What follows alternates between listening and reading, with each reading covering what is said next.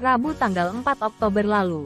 Anak kedua pasangan Raffi Ahmad dan Nagita Slavina, Rayanza Malik Ahmad harus dilarikan ke rumah sakit. Beberapa hari belakangan ini, pasangan yang menikah pada 2014 ini memang membagikan kondisi sang putra yang mengalami demam dan batuk. Pada unggahan live Instagramnya, Raffi Ahmad sempat melakukan video call dengan sang istri untuk memantau kondisi sang putra. Dalam momen tersebut, Nagita Slavina menduga penyebab sakitnya sang putra bungsu karena adanya infeksi bakteri. Tak hanya itu, Gigi juga menyebut adanya radang di paru balita yang akrab disapa cipung tersebut. Ada radang di paru. Ini lagi dicari tahu. Cuma ini hasil cepornya belum keluar. Ungkapnya pada sang suami.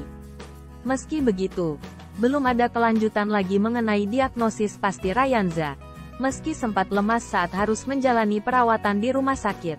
Namun keadaan adik Rafathar berangsur membaik.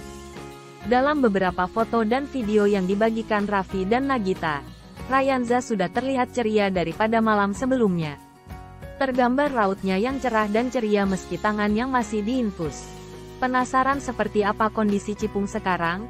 Berikut momen Rayanza anak Raffi Ahmad dirawat di rumah sakit dirangkum Brilio.net dari berbagai sumber pada Kamis tanggal 5 Oktober. 1. Melalui akun Instagram pribadinya, Nagita Slavina mengabarkan kondisi Cipung dalam demam tinggi. Begini momen saat perawatan di rumah sakit. 2. Atas saran dokter, Rayanza harus dirawat di rumah sakit agar cepat sembuh. Diketahui suhu tubuhnya Cipung mencapai 40 derajat. 3 saat di rumah sakit Cipung ditemani sang ibunda dan kakaknya Rafathar. Begini kondisi Cipung yang dipasangkan infus. 4. Di rumah sakit, Rayanza dirawat intensif.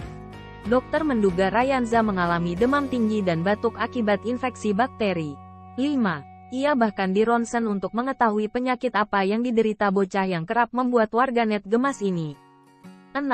Kini, setelah menjalani pemeriksaan dan pengobatan oleh dokter, kondisi Rayanza sudah jauh membaik dari malam kemarin. 7. Cipung tampak sudah bisa ceria kembali. Cipung sudah bisa tertawa dan bercanda lagi. Ia juga asyik berjoget dengan tangan yang masih diinfus. 8.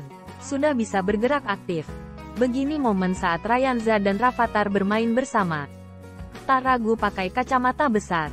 9. Meski masih demam dan tangan diinfus, namun Rayanza begitu ceria saat bercanda dengan sang ibu.